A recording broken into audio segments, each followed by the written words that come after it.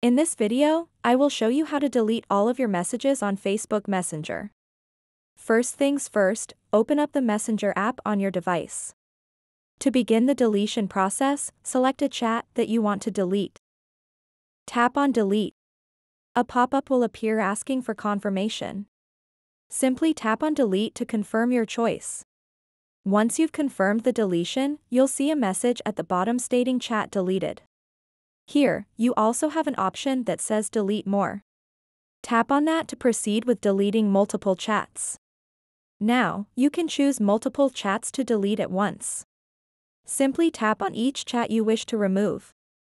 Alternatively, if you want to clear everything out in one go, tap on the three little dots located at the top right corner of your screen.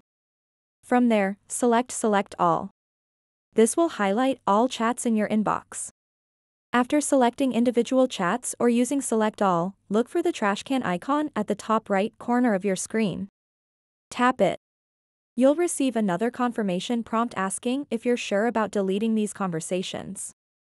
Tap Delete once more to finalize this action. So that wraps up this tutorial. If you have any questions about this whole process, please let me know in the comments section below. And if this video helped you out, please give it a big thumbs up and subscribe to this channel for more tutorial videos like this one. Thank you so much for watching and have a good day.